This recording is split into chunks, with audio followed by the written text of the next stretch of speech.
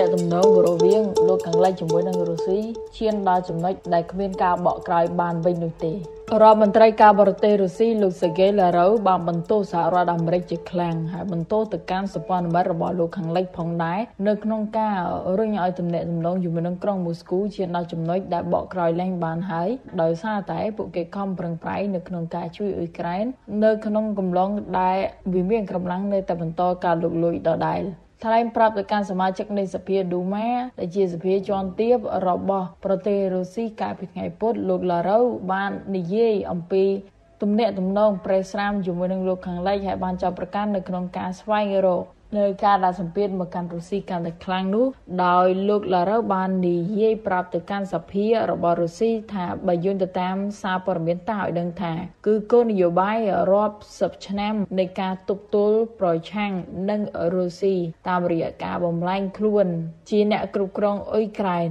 ប្រឆាំងជាមួយនឹងរុស្ស៊ីឥឡូវយើងបានមើលឃើញជាក់ស្ដែងហើយគោលនយោបាយមួយនេះគេរៀបចំឡើងដោយសារតែពួកគេមានការភ័យខ្លាចចំពោះអំណាចយោធារបស់រុស្ស៊ីតែម្ដងឡារ៉ូបានរៀបរាប់ទៀតថាអំពីការពង្រីក ឥទ្ធិពលរបស់ NATO ចាប់តាំងតែពីសង្គ្រាមត្រជាក់មកហើយបាននិយាយដោយស្រង់ជាមួយនៅអ្វីដែលជាប្រសាសន៍របស់លោកពូទីនថាពិតជាមាននៅយុទ្ធធរនៅក្នុងការដែលពួកគេធ្វើការលុកលុយទៅកាន់អ៊ុយក្រែននេះបន្ទាប់ពីអរិយៈពេលជាច្រើនឆ្នាំនៃសកម្មភាពរបស់លោកខាងលិចធ្វើមកកាន់រុស្ស៊ីនោះឡារ៉ូក៏បាននិយាយទៀតអំពីការគ្រប់គ្រងរបស់លោកខាងលិចគិតចាប់ពីបដិវត្ត Maidan ឆ្នាំ2019មកម្លេះលោកបាននិយាយអំពីការដែលពួកគេគ្រប់គ្រងរដ្ឋាភិបាលហើយប្រឆាំងជាមួយនឹងរដ្ឋាភិបាលប្រធានាធិបតីអ៊ុយក្រែនវីកទ័រយ៉ាណូកូវីចបន្ទាប់មកធ្វើនៅទម្រង់រដ្ឋប្រហារនៅលើទឹកដីរុស្ស៊ី ឲ្យកើតការប៉ុន្តែមិនអាចកើតឡើងនិយមទៅតាមទីភ្នាក់ងារចារកម្មលោកខាងលិចមួយចំនួនបានបង្កប់ខ្លួនឡារូវបាននិយាយថាអរិយពេលច្រើនឆ្នាំហើយគោលនយោបាយរបស់ក្រុងវ៉ាស៊ីនតោនក៏ដូចជាក្រុមការរណបរបស់ក្រុងវ៉ាស៊ីនតោនក្រុមសហភាពអឺរ៉ុបនោះបានឈានដល់ចំណុចដែលមិនអាចត្រឡប់ក្រោយវិញបាននោះទេ អ្នកការទូតកម្ពុជារបស់រុស្ស៊ីមួយនេះបាននិយាយថាក្រុងមូស្គូគ្មាននៅឡើយចម្ងល់អំពីចេតនាពិតប្រាកដរបស់លោកខាងលិចព្រោះថាយើងបានដឹងអស់ទៅហើយឡារូវបាននិយាយអំពីការឆ្លើយតបជាសមរភាពរបស់លោកកង្ដិចនៃការលុកលុយរបស់រុស្ស៊ីទៅកាន់អ៊ុយក្រែនដែលនិយាយថាយើងបានមើលឃើញក្នុងកំឡុង2ទសវត្សរ៍មកនេះវាចាប់ផ្ដើមនៅថ្ងៃទី24កុម្ភៈមកម្លេះឡារូវថាថ្ងៃនេះសហរដ្ឋអាមេរិកក៏ដូចជាក្រុមកែរណបរបស់ពួកគេនោះគឺកំពុងតែបង្កនៅសង្គ្រាមកូនកាត់មួយប្រឆាំងជាមួយនឹងពួកយើងហើយបានរៀបចំរយៈពេលច្រើនឆ្នាំហើយនៅក្នុងការចង់ធ្វើដូច្នេះក៏ព្រោះតែពួកគេនឹងប្រើប្រាស់ទៅកាន់ក្រុមអ៊ុយក្រែននោះតែម្ដងហើយលោកបានបង្កបន្លឺសម្លេងបន្ថែមទៀតផងដែរថារុស្ស៊ីបាននិយាយអំពីចំណុចជាច្រើនដែលទាក់ទិនជាមួយនឹងការបោះឆ្នោតប្រជាធិបតេយ្យរបស់អ៊ុយក្រែនជាមួយនឹងក្រុមស្ដាមនិយមរបស់ប្រទេសមួយនេះក្រុងមូស្គូបានប្រាជ័យនៅក្នុងការទទួលស្គាល់អំពីតម្លៃនៃការចង់បំបែកក្រុមណាស៊ីហើយនឹងការធ្វើឲ្យបាត់បង់នៅយោធាណាស៊ីនៅលើទឹកដីអ៊ុយក្រែនជំនួសមកវិញគឺក្រុងមូស្គូបានមកវិញនៅទណ្ឌកម្មយ៉ាងហូរហៀប្រឆាំងជាមួយនឹងរដ្ឋាភិបាលរុស្ស៊ីក៏ដូចជាសម្ព័ន្ធមិត្តរបស់រដ្ឋាភិបាលរុស្ស៊ីឡារៅថាលោកខាងលិចគ្មាននៅឡើយនៅការលាក់បាំងគោលបំណងរបស់គេពួកគេបានបង្ហាញឲ្យច្បាស់ច្បាស់តែម្ដងនេះមិនមែនពីព្រោះតែការបរាជ័យរបស់រុស្ស៊ីនៅក្នុងសមរភូមិនោះទេតែពួកគេមានការចង់បំផ្លាញសេដ្ឋកិច្ចរបស់រុស្ស៊ីហើយចង់ធ្វើឲ្យយើងទៅជាប្រទេសមួយដែលคล้ายទៅជាប្រទេសដែលឯកោអ្នកការទូតនេះបានចោទប្រកាន់ទៅកាន់ក្រុមលោកខាងលិចទៀតផងដែរថាការលុកលុយរបស់រុស្ស៊ីដោយអះអាងថា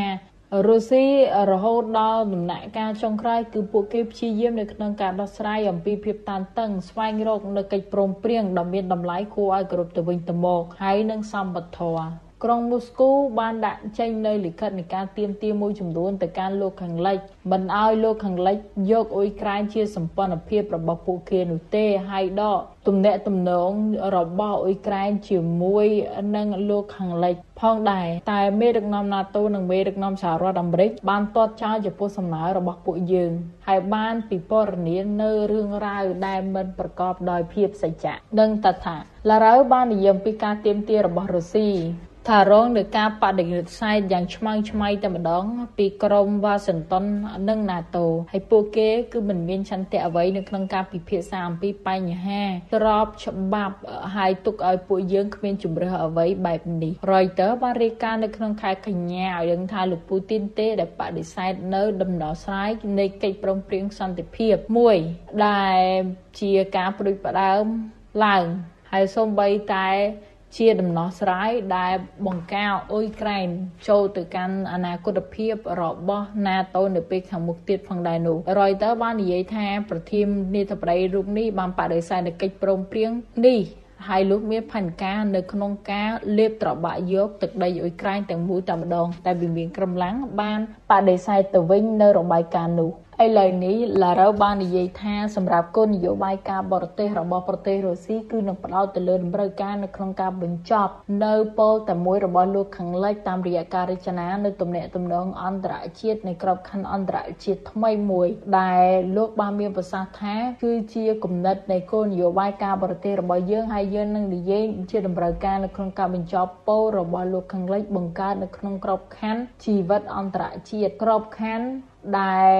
យើងធ្វើថ្មីគឺមិនមែនជាក្របខ័ណ្ឌនៃអត្ថប្រយោជន៍អាត្មានិយមនោះទេក៏ប៉ុន្តែស្របទៅតាមមូលដ្ឋានសកលដ៏មានសមធម៌នៃអត្ថប្រយោជន៍ប្រកបដោយតលយៈភាព ជាតម្រូវការស្របទៅតាមធម្មនុញ្ញអង្គការសហប្រជាជាតិដែលមានចែងនូវគោលការណ៍នៃសមភាពអធិបតេយ្យរបស់បណ្ដារដ្ឋទាំងអស់ហើយលោកចង់បញ្ជាក់ផងដែរថារដ្ឋការប៉ុនប៉ងនៅក្នុងការធ្វើឲ្យរុស្ស៊ីឯកាគឺបានបរាជ័យហើយសត្រូវរបស់រុស្ស៊ីទាំងឡាយគឺមិនហ៊ាននឹងសារភាពនេះទេ ហើយរុស្ស៊ីក៏ប្រកាសផងដែរនៅក្នុងការមិនព្រមបង់គឺពន្យានៅការចំណាយទៅកាន់អង្គការមួយចំនួន ដោយថាបើអត្ថប្រយោជន៍របស់ប្រជាជនរុស្ស៊ីរបស់ប្រទេសរុស្ស៊ីត្រូវបានរើសអើងប្រឆាំងនោះលោកឡារ៉ូបាននិយាយថាតួយ៉ាងគឺទៅកាន់អង្គការនៃការហាមឃាត់អាវុធ គីមី ដែលអនុញ្ញាតឲ្យមាននៅ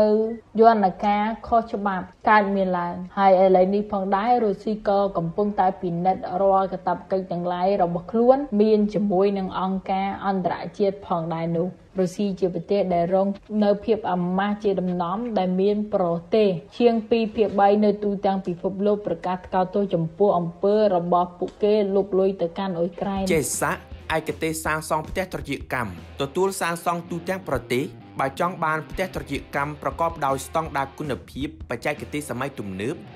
សូមទំនាក់ទំនងតាមលេខ077 27 27 27 095 48ការ៉េ8និង068 80ការ៉េ9